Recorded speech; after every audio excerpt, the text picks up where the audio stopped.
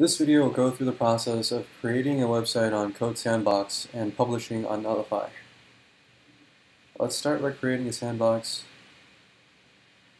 Why not React? We'll make just a small change here to show that something's different. Save it. As soon as you save it, this menu on the left pops up. Click on GitHub. Let's name this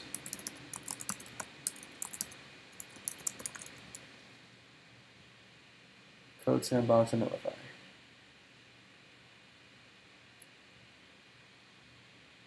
Let's just make sure that repository was created.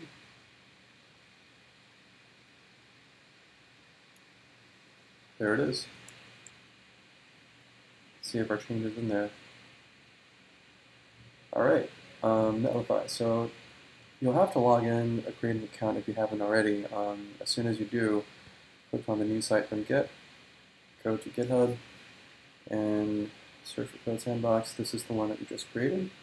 Master build command would be um, npm run build and publish directory. So this is from the create React app uh, defaults.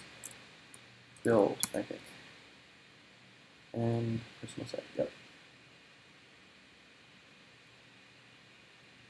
So the first time that this builds, it has to uh, it has to download, install Node, and install install all the npm dependencies. This only happens um, whenever you change an npm dependency. So subsequent rebuilds, if you only change the content, should be very quick.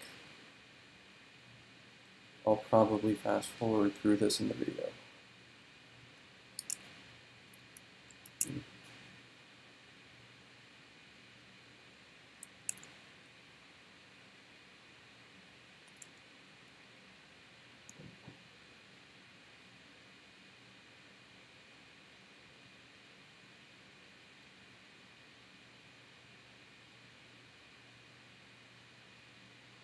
Site is live, alright. So by default, Netlify creates a name for you that's kind of random. Well, it is, it is random, so if you want to use something else, you could either change the site name, whoops, not that, change site name to something like code, sandbox, and Netlify, and you could also could also uh, provide your own custom domain name, although I don't remember where that is right now, but um, it's on here somewhere. Anyway, um, let's see let's see our site. Code Sandbox and Netlify. There we go. And let's make a change. Code Sandbox and Netlify. Let's just delete this line. Save that. And here you'll see that you have the option to uh, either create a commit directly on the branch, on the master branch, or create a pull request. And let's create a pull request. Deleted second line.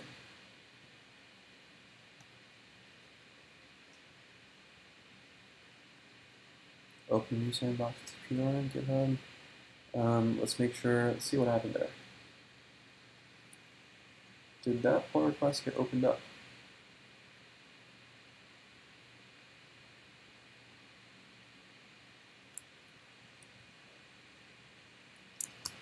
Look at the site. Is this still working?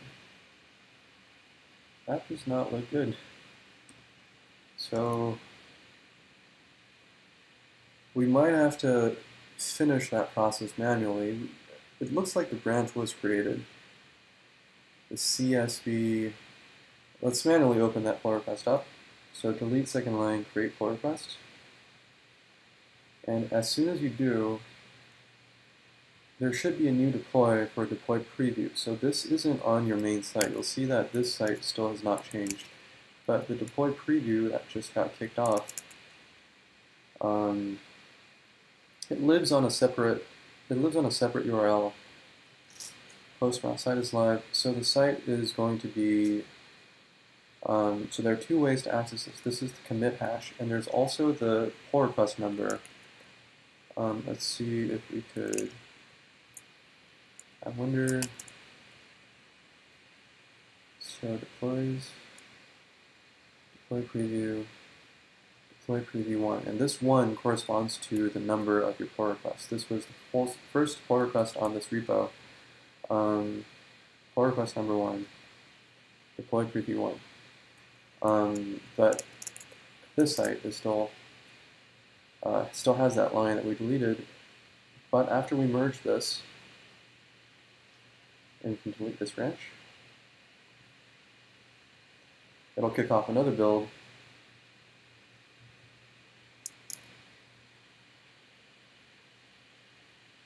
onto the master branch. And when this gets deployed, you should notice that this is building a lot faster than it was before.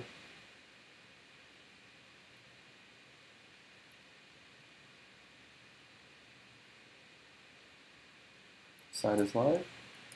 We just need to refresh here, and second line's gone. All right, that's it. Oh, almost forgot. Check out NPM charts. This is my hobby project. I think it's awesome, and so should you.